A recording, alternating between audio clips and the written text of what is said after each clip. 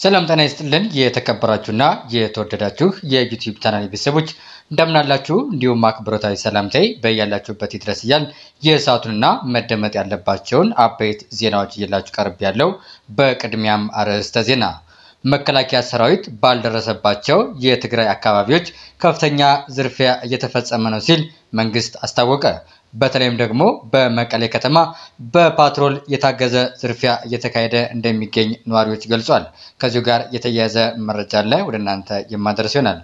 በሌላ አስገራሚ ዜና የደቡብ ሱዳን ፕሬዝዳንት ሱሪያቸው በውሃ ሽንት ሲረጥብ የዘገቡ ጋዜጠኞች የደረሱበት አልታወቀም። በዚህም ምክንያት እንደተገደሉ እየተነገረ ይገኛል። ሰሜን ኮሪያ ሁለት ባላስቲክ ሚሳይሎችን ማስወንጭፏን የደቡብ ኮሪያ ጦር አስታወቀ። ባለሙያዎች ሰሜን ኮሪያ አሜሪካንን ሊመቱ የሚችሉ ሚሳይሎች አሏት የሚል ግምታቸውን እየገለጹ ይገኛሉ። በሌላ ዜና ፋሲል የኔ ዓለም እንዲህ አለ። ድሮ የተማረ ወድቆ አይወድቅም ይባል ነበር። ዛሬ ላይ የሰረቀ ወድቆ አይወድቅም በሚለው ተተክቷል ብሏል ፋሲል የኔ ዓለም። ከዚሁ ጋር በተያያዘም የብልጽግና አመራሮችን የተቸበትና የወያኔን ወይም ደግሞ የኢህአዴግን ወይም ደግሞ የህወሓትን አካሄድ ሪከርድ ይሰብራል ያለውን መረጃ ይፋ አድርጓል። ከዚሁ ጋር የተያያዘውንም ወደ እናንተ የማደርስ ይሆናል።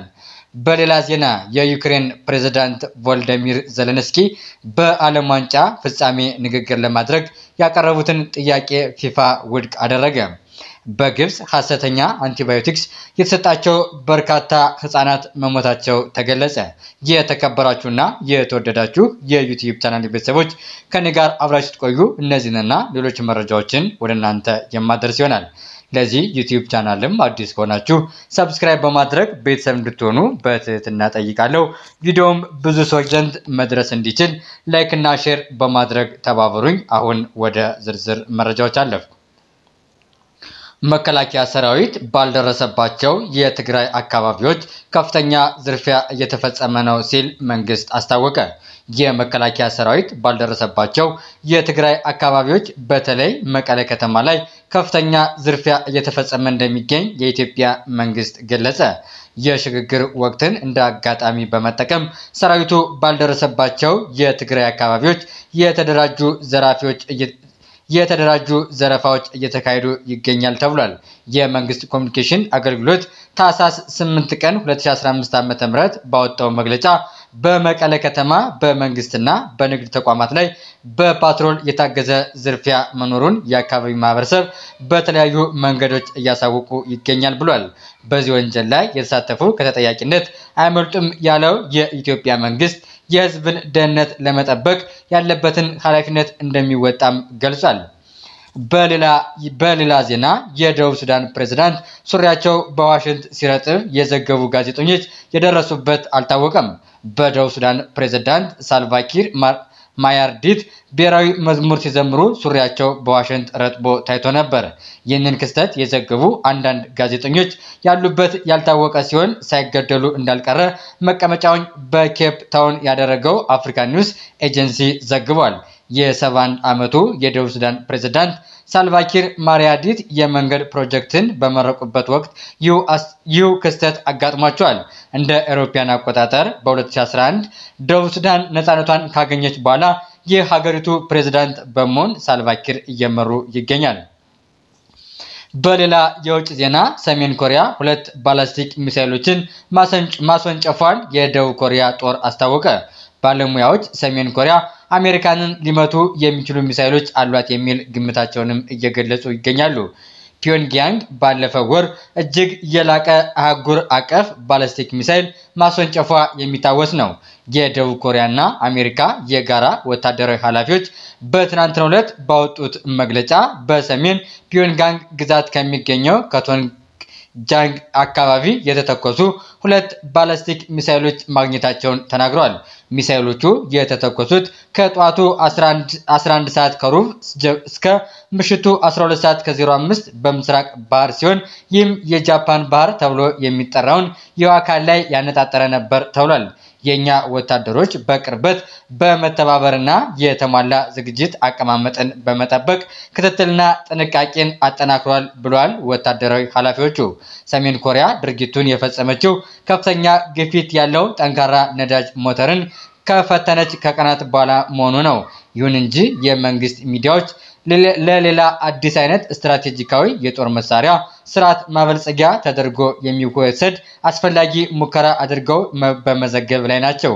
አንዳንድ ባለሙያዎች እንደሚገምቱት ሰሜን ኮሪያ በኒውክሌር መርሃ ግብሯ ላይ ባሳለፈቻቸው ዓመታት ብዛት መሰረት አሜሪካን በሙሉ ሊመቱ የሚችሉ በኒውክሌር የተደገፉ ሚሳይሎች አሏት ይላሉ። ይህ በእንዲህ እንዳለ አሜሪካና ደቡብ ኮሪያ ሰሜን ኮሪያን የኒውክሌር መርሃ ግብር በመቃወም መደበኛ ወታደራዊ ልምምዳቸውን በማስፋፋት የተቀናጀ የመከላከያ አቅማቸውን የበለጠ አጠናክረው እንደገፉበት ነው። ሰሜን ኮሪያም ከአሜሪካና ከደቡብ ኮሪያ ጋር ሊፈጠሩ በሚችሉ ግጭቶች የኒውክሌር ጦር መሳሪያን በቅድመ ሁኔታ እንደምትጠቀም ማስፈራራቷ አይዘነጋም። ፒዮንግያንግ ከዚህ በፊት ታይቶ የማይታወቅ የጦር መሳሪያ ሙከራ በማድረግ ባለፈው ወር እጅግ የላቀ አህጉር አቀፍ ባለስቲክ ሚሳይል ማስወንጨፏ የሚታወስ ነው። ይህም ከአሁኑ ሙከራ ጋር ተዳምሮ በኮሪያ ልሳነ ምድር ያለው ወታደራዊ ውጥረት በከፍተኛ ሁኔታ እንዲጨምር እንዳደረገው ይገለጻል። በሌላ ዜና ጋዜጠኛ ፋሲል የኔዓለም እንዲህ አለ። ድሮ የተማረ ወድቆ አይወድቅም ይባል ነበር። ዛሬ ላይ የሰረቀ ወድቆ አይወድቅም በሚለው ተተክቷል ይለናል ፋሲል የኔዓለም። ህወሓት 30 ቢሊዮን ዶላር በ25 ዓመታት ውስጥ እንደዘረፈ ይነገራል። ሌሎች ኢህአዴግ ድርጅቶችም የአቅማቸውን ዘርፈዋል። አሁን የሚታየው የሌብነት ፍጥነት ደግሞ የወያኔን ሪከርድ ለመስበር ይመስላል። ትንንሾቹ አባይ ጻዮች በዚህ ፍጥነት ከቀጠሉ በቅርቡ ሪከርዱን ይሰብሩታል። ምስኪኑ ህዝብ ቁጭ ብሎ እየተራበ ሀብታቸውን ያደንቃል፣ ቢያውቅም አይናገርም ብሏል ፋሲል የኔዓለም። ድሮ የተማረ ወድቆ አይወድቅም ይባል ነበር። ዛሬ ላይ የሰረቀ ወድቆ አይወድቅም በሚለው ተተክቷል። ኃይለኛ የሌብነት ኔትወርክ ተዘርግቷል። ልብ ያለው ልብ ይበል። መንግስት ቀድሞ ካላነቃቸው ሌቦቹ መንግስትን ቀድመው ያንቁታል ብሏል ፋሲል የኔዓለም። የዩክሬን ፕሬዝዳንት ቮልደሚር ዘለንስኪ በዓለም ዋንጫ ፍጻሜ ንግግር ለማድረግ ያቀረቡት ጥያቄ ፊፋ ውድቅ አደረገ። የዩክሬን ፕሬዝዳንት ቮልደሚር ዘለንስኪ እሁድ በሚካሄደው የኳታር ዓለም ዋንጫ ፍጻሜ ጨዋታ ከመጀመሩ በፊት ስለ ዓለም ሰላም ንግግር ለማድረግ ያቀረቡት ጥያቄ ፊፋ ውድቅ ማድረጉ ተገለጸ። የፕሬዝዳንቱ ጽህፈት ቤት በቪዲዮ አማካኝነት ከጨዋታው በፊት በስቴዲየም ለሚገኙ ኳስ ደጋፊዎች መልእክት ለማስተላለፍ ያቀረበው ጥያቄ አሉታዊ ምላሽ በማግኘቱ አስገርሞኛል ብሏል። በዚህም በፕሬዝዳንቱና በፊፋ መካከል ውይይት እየተካሄደ መሆኑን በፊፋ በኩል ምንም አስተያየት እንዳልተሰጠ ሲኤንኤን ምንጩን ዋቢ አድርጎ ዘግቧል። በፊፋ ሕግ መሰረት በንግግርም ሆነ በማንኛውም መንገድ በማንኛውም መንገድ ፖለቲካዊ ይዘት ያላቸውን መልእክቶች ማስተላለፍ የተከለከለ ነው። የዩክሬን ፕሬዝዳንት ቮልደሚር ዘለንስኪ ጉዳዩ በማይገናኙ ታላላቅ የዓለም መድረኮች ጭምር በመጠቀም መልእክታቸውን ለማስተላለፍ ጥረት ሲያደርጉ መቆየታቸው የሚታወስ ነው። በሌላ አሳዛኝ ዜና በግብፅ ሐሰተኛ አንቲባዮቲክስ የተሰጣቸው በርካታ ህፃናት መሞታቸው ተገለጸ። አንድ አንድ የሁለት ዓመት ህፃን ከፍተኛ ሙቀት ገጥሞት ወደ ሆስፒታል ከተወሰደ በኋላ ሐኪሞች መርፌ ወቅተውት ህይወቱ አልፏል። ልጁ የተወጋው መድኃኒት ሐሰተኛም ሆኖ ተገኝቷል። የግብፅ መገናኛ ብዙሃን እንደዘገቡት ባለፈው ወር ብቻ 160 ሚሊዮን ዶላር የሚያወጡ ሐሰተኛ መድኃኒቶች ተይዘዋል። የሐሰተኛ መድኃኒት ስርጭት በተለያዩ አገራትም እየተስፋፋ ይገኛል። የአሜሪካው Journal of Tropical Medicine and Hygiene በቅርቡ ባወጣው ሪፖርት መሰረት በሐሰተኛ መድኃኒቶች በዓመት 300 ሺህ ህፃናት ይሞታሉ ብሏል። የግብፅ መገናኛ ብዙሃን እንደዘገቡት ከሆነ ceftriaxone የተባለው አንቲባዮቲክስ ጥቅም ላይ እንዳይውል እያሳሰቡ ነው። ካፍሪያዚያት በተባለው ከተማ ፈቃድ የሌላቸው ፋብሪካዎች ላይ ፍተሻ ተደርጓል። ሐሰተኛ መድኃኒት ከሚበዛባቸው የመድኃኒቶች አይነቶች መካከል አንቲባዮቲክስም ይጠቀሳል። ጥቅምት ላይ በጋምቢያ ወደ ሰባ የሚጠጉ ህጻናት የህንድ ምርት የሆነ የሳል መድኃኒት ወስደው ህይወታቸው ማለፉ ይታወሳል።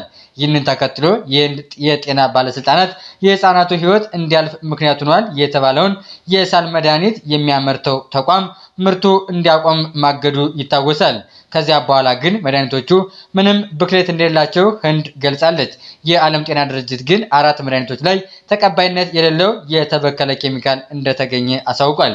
የተከበራችሁና የተወደዳችሁ የዩቲዩብ ቻናል ቤተሰቦች ለሰዓቱ የያዝኩላችሁ አበይት መረጃዎች እነዚህ ነበሩ። ከሰዓታት በኋላ በሌላ መረጃዎች እስከምንገናኝ ቸር ቆዩልኝ።